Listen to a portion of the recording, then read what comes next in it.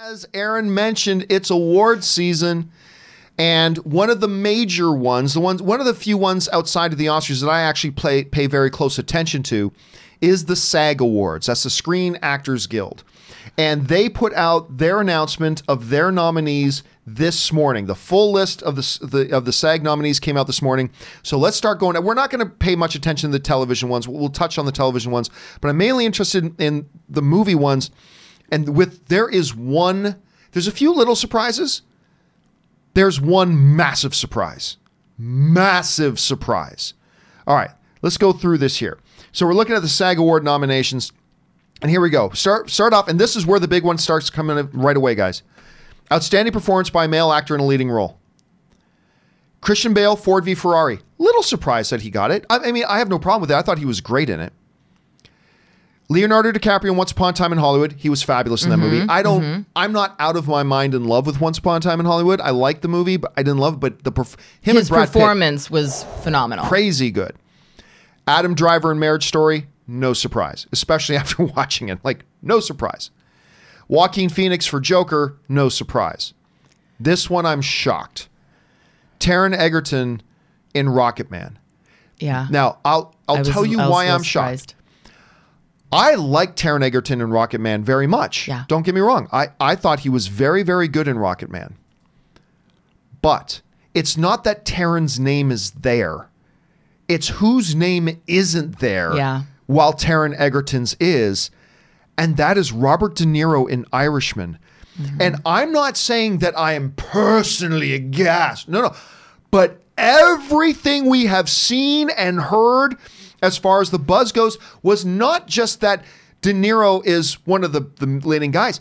He's kind of a de facto favorite Mm-hmm. going into Oscar season. Not the favorite to ultimately win, but one of the names in the conversation to not just be nominated, but to win. Right. And as we see in a second, everybody else in, in Irishman got nominated, and Robert De Niro did not. Mm-hmm. This to me is the huge surprise of all the nominations. Again, I this is not meant as a put down on Taron Egerton at all. I No, thought he did was a wonderful performance. He a very wonderful performance. in Rocket Man. Very good in Rocket Man. Mm-hmm. Better than Robert De Niro in Irishman? That's his movie. yeah. I, I, I and I'm I'm I'm just kind of stunned by this. So and this is by the way, this isn't some weird country club group. These are the actors. Mm-hmm. This is the Screen Actors Guild members who voted for this. So I don't know, Aaron, as a SAG member yourself. I take full responsibility But for I the mean, I, slight. you- uh, were you as shocked by this as me? Or I how do you was. I it? actually, uh, I was, I was awake at five o'clock this morning, and I saw an alert on my phone. The SAG Award nominations are coming out in one hour, and I was like, "Oh my god!" I set my alarm for six o'clock so I would make sure to wake up. Um, and yeah, I was I was really surprised at that, especially um, given that we haven't heard a lot of Oscar buzz recently for Taron Egerton. Obviously, when Rocket Man first came out, everybody, you know, as soon as a movie comes out, people go, "Oh my gosh, they're going to be nominated for." An, we've heard that. We heard about Eddie Murphy for, um, um, oh gosh, uh, remind me, Eddie Murphy. Um, Uh, uh, Dolemite. Dolemite. My name is Dolemite. There was buzz for that for him. Um, Adam Sandler. There was buzz for him in Un- Uncut Gems. You That's know, the- another surprise that he's not in there. I agree. Because he won the National Board of Review for Best Actor and didn't get nominated at the SAGs. Yeah. And so I wonder if it is one of those situations like we talked about with the um, Mr. Rogers documentary where everybody assumes that it's going to be nominated and so nobody nominates it. I don't know. I wasn't on the nominating committee this year, so I had nothing to do with it. But it, it, it was, it's a very obvious slight. But I think that if anything, I don't think that's an indication that he won't get closer to Oscar. I think it's an indication that people are going to be much more conscious to make sure that they are nominating him for an Oscar and not just assuming that, you know, he'll win. It's it's interesting because this was the funny thing. It reminds me of the situation back when Argo was out. Mm. And the Directors Guild of America, the DGA, Yes. awarded Ben Affleck Best Director of the Year. Who's on the director's branch of the Academy?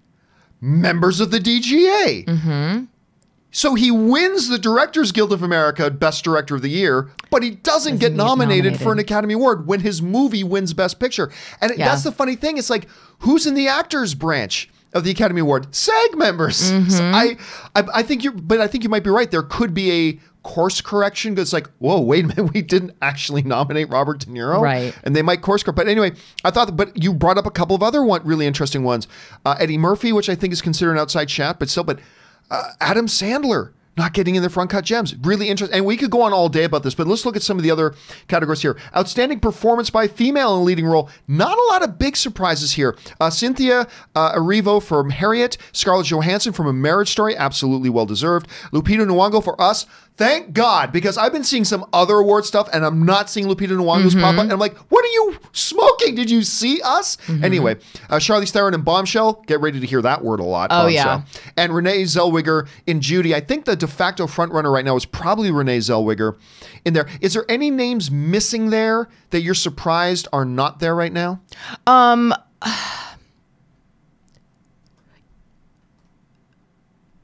No? No.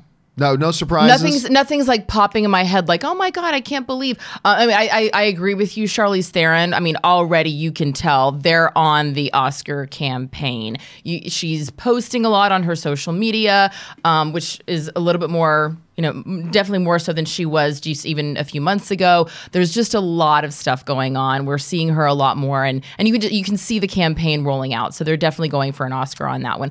Um, I was i- interestingly enough, um, the number of nominations for Scarlett Johansson, leading actress, supporting actress, best ensemble.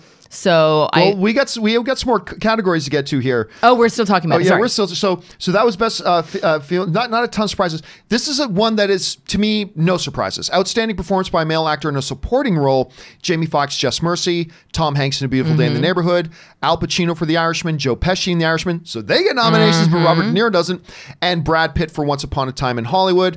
Again, sorry, he was not. A supporting actor in that movie. No, he, he was, was every bit of a lead as Leo, but still, that that's where they ca- uh, campaign him. So no surprises there really at all. Outstanding performance by female actor in a supporting role. Laura Dern, Marriage Story, no surprise there. Scarlett Johansson and Jojo Rabbit, that was a little bit of surprise because you know people ask me because I it is my number one favorite movie of the year. And people said, "Do you think JoJo's going to get a, a nomination for this?" And I said, "Probably not. I, I don't think Scarlett Johansson will. I just refer to her as JoJo. Uh, s- I don't think she will. But man, she was really good in it. So I'm surprised, but pleasantly surprised. More Bombshell. Nicole Kidman from Bombshell, Margot Robbie in Bombshell, and Jennifer Lopez from Hustlers. Good for her. Good for her. I, I, you know what? I really do like that movie. I thought that movie was quite good. All right, then we move on to an outstanding performance by a cast. This is the ensemble award. This kind of SAG's version of Best Picture. Bombshell, no surprise, seeing as it got three acting nominations. Right. The Irishman, even without Robert De Niro being nominated for uh, Jojo Rabbit, which I'm surprised by, but very pleasantly surprised by.